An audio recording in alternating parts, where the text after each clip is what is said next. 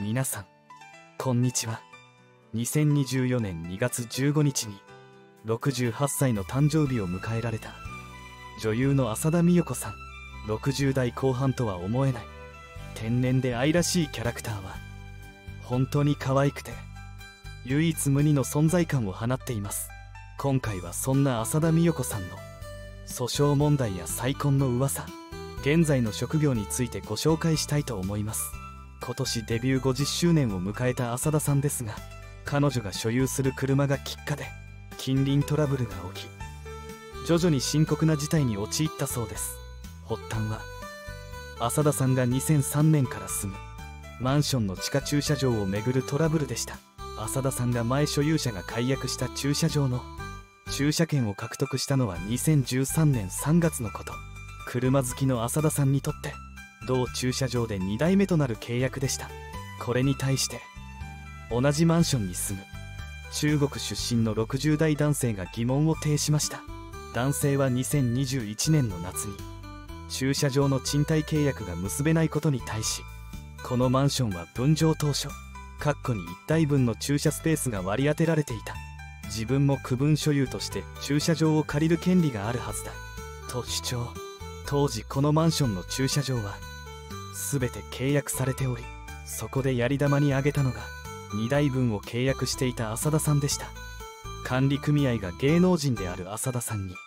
忖度して2台分の駐車券を与えたなどと非難したそうです。管理組合が男性の言い分を受け入れずにいるとその直後に大暴走が始まったそう。古物商を営むその男性は壊れやすく高価な品を運ぶには車が必須と言い出し自分の車を勝手に駐車場に停車して他の居住者の利用を妨害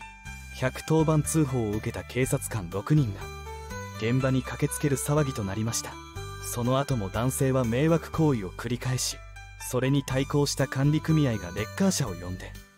男性の車を強制撤去するなどの小競り合いが続き2ヶ月の間に警察官が4度も出動する騒ぎになったそうです。さらに続けざまにマンションのエレベーター内に白い粘着性の液体が散布されたり管理室の扉の鍵穴に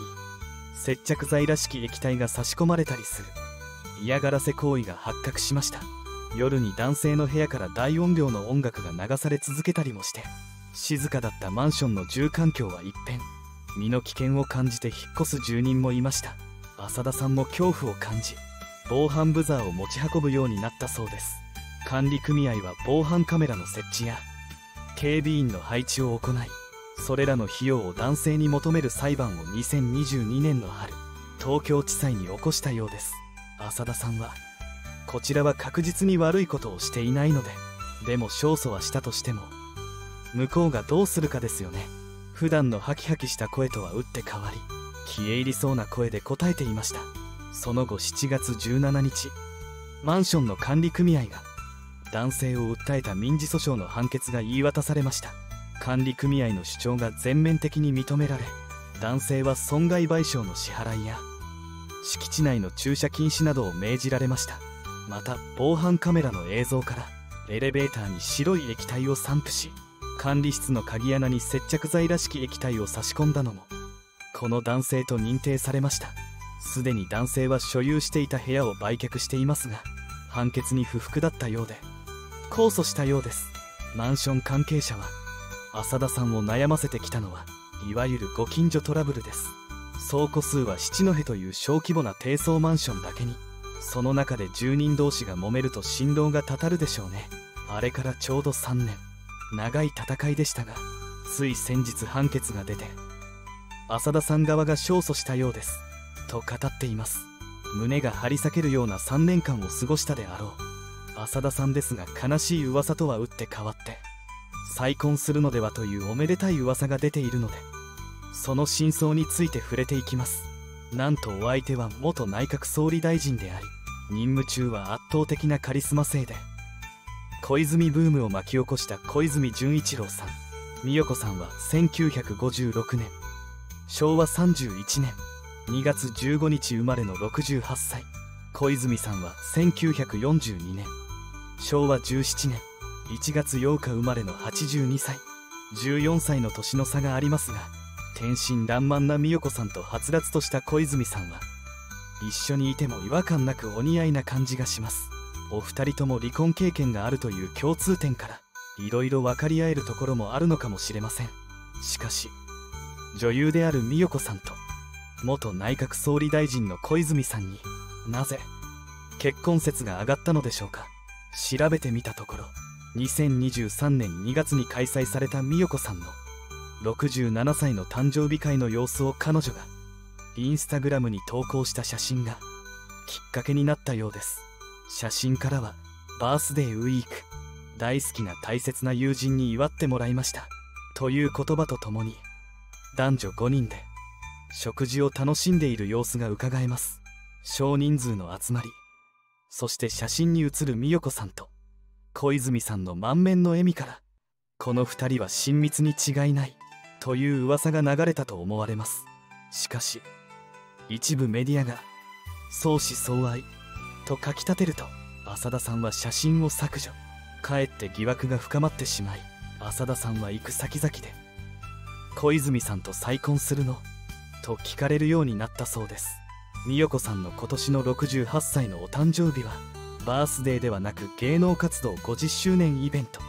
が開催された模様を投稿されていました。写真の中に小泉さんの姿はありませんでしたがイベントには参加されていたようです。再婚の噂が立った浅田さんですが結婚していた過去についても見ていきたいと思います。浅田さんは1977年7月21歳でシンガーソングライターの吉田拓郎さんと結婚されています。当時この結婚はご両親から大反対されておりそれを説得してくれたのが女優の子。キキキリンさんでした。そして結婚したら芸能界を引退してほしい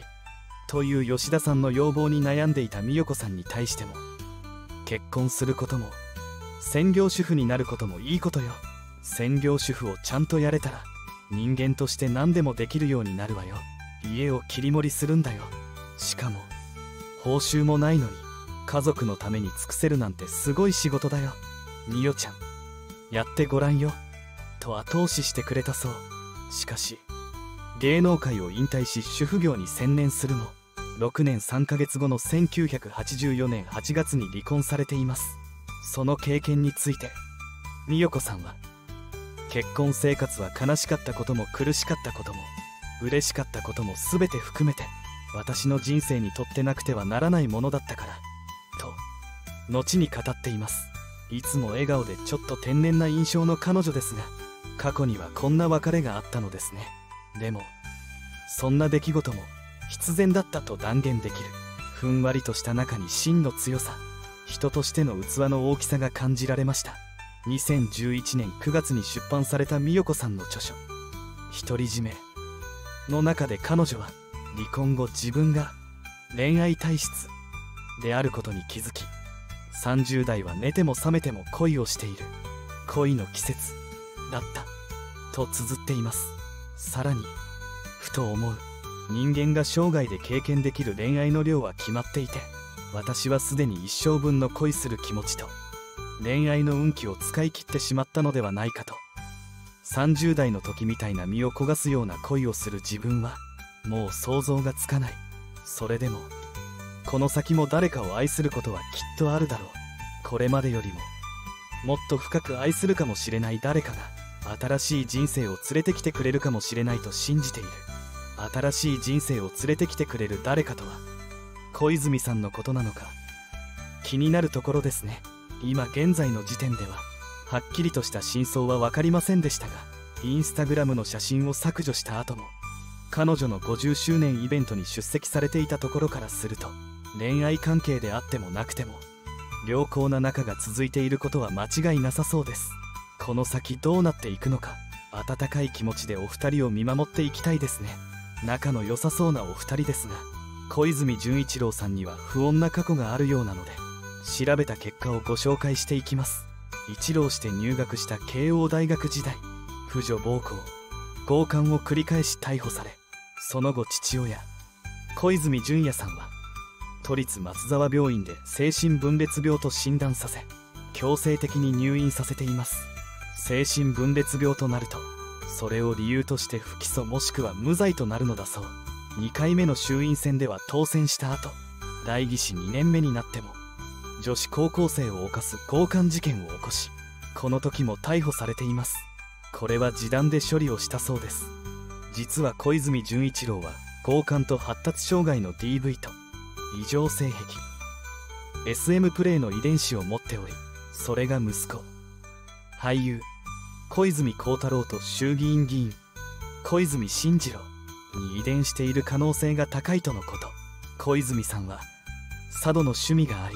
よく相手の首を絞めてプレーするそうです。それで一度死にそうに相手がない半死の状態になってしまったそう。その時は500万円を支払い示談にしたことがあるといいます。なお元妻宮本佳代子さん自身も夜の営みの時に首を絞められていたそうです。小泉さんのこういった性癖は事件絡みになることも多かったようですが小泉さんと浅田さんにもし関係があるとすれば浅田さんの夜の営みでも小泉さんのそういうことを受け入れられる部分が終わりなのかもしれませんね。ここまで小泉さんの過去について触れてきましたがここからは浅田さんの現在や今後について見ていきたいと思います。10代の頃からアイドル歌手として多くの作品を生み出しその後俳優を中心として活躍を続けている浅田さんですが現在でも変わりなくドラマや映画に継続的に出演していることから日本の映画ドラマには欠かせない存在になっています。そんな浅田さんは長年にわたり女優業と並行して動物愛護活動に注力されています。きっかけは自身の母親が亡くなった時に飼っていた2匹の犬の存在に助けられて立ち直れたそうでそのうちの1匹が17歳で亡くなった際に何か恩返しができたらいいなと感じて殺処分になりそうだった子を引き取ってみようと思ったことから活動が始まったそうです。また浅田さんはしっかりと本業を頑張っていれば動物愛護を伝える言葉にも強さが出ると思うと女優業が動物愛護の活動にも影響を与えている。ことを話していました。また先日死去した西田敏行さんに対して追悼の意を表明。突然の訃報にただただびっくりしています。あの元気ないつも笑顔の浜ちゃんが亡くなってしまうなんて。